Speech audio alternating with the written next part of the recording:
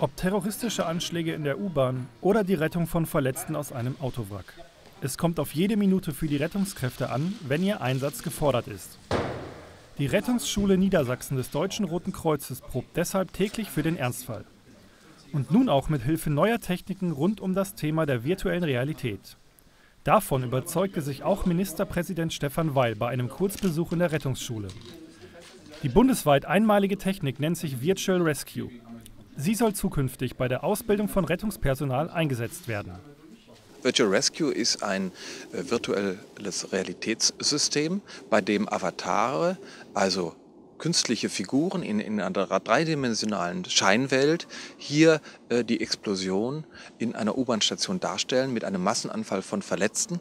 Und in diesem Szenario kann man üben, was man in der Realität kaum üben kann, nämlich die zeitgerechte, adäquate Erstversorgung und Klassifizierung von Patienten, auch für deren geeignete Form des Abtransportes was man sonst eben in der wirklichen Welt kaum nachstellen kann, denn man kann hier nicht nur sichten, und analysieren, sondern man kann auch erste Behandlungsschritte vollziehen.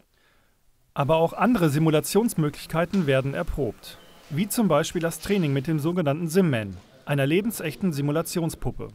Beispielhaft werden hier realitätsnahe Notfälle dargestellt. Ohne technische Hilfe wäre dies nicht möglich. Ein Mime kann ja einen Verletzten oder einen Erkrankten darstellen aber er kann natürlich niemals die körperlichen Symptome zeigen. Das heißt, sein Puls verändert sich nicht, ähm, die, die, Funktion der Iris äh, verändert sich nicht. Man kann wie am im echten Notfall agieren, ohne dass man irgendwen gefährdet oder äh, ohne dass man hier hm, eine, ein, ein Szenario hätte, das jenseits der Realität ist. Die Rettungsschule des Deutschen Roten Kreuzes bildet seit 1969 Spezialisten für den Rettungsdienst aus.